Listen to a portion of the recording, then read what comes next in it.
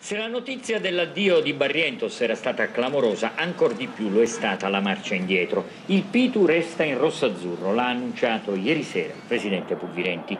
Niente Qatar dunque per il fantasista del Catania, che rimarrà dunque l'uomo di maggior classe della formazione di Maran. Pulvirenti ha spiegato di aver incontrato il giocatore, quest'ultimo ha chiarito i motivi che lo spingevano ad accettare l'offerta, ma poi ha convenuto con lo stesso presidente che la cosa migliore era rinunziare.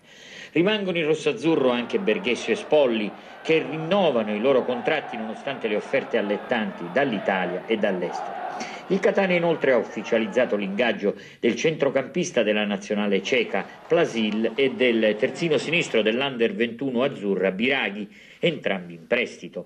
Ducarà invece va allo US Star. del giovane Biraghi, oltre a quelli immediatamente precedenti di Boateng e Guarente, completano e rafforzano ulteriormente un organico già competitivo. Non soltanto novità però, ma anche importanti conferme rianimano l'ambiente etneo. Il prolungamento del contratto fino al 2016 di Spolli e soprattutto il ritrovato feeling con Maxi Lopez e Pablo Barrientos. Per quest'ultimo l'annuncio ufficiale è arrivato ieri direttamente dalla bocca di un soddisfatto presidente Pulvirenti, ospite della trasmissione sportiva di Telecolor Corner. Abbiamo parlato a lungo, mm, mi ha spiegato la situazione esattamente come è andata, mi ha spiegato i motivi per cui lui aveva mm, quella situazione di titubanza e credo che tutti noi lo possiamo capire perché, ripeto, veniva fuori da un, da un precedente di questo genere, quindi era un po', il ragazzo era un po' così. Lui ci ha pensato a, a, a lungo, ne abbiamo parlato, alla fine ci siamo abbracciati, quindi Barientos resta a Catania.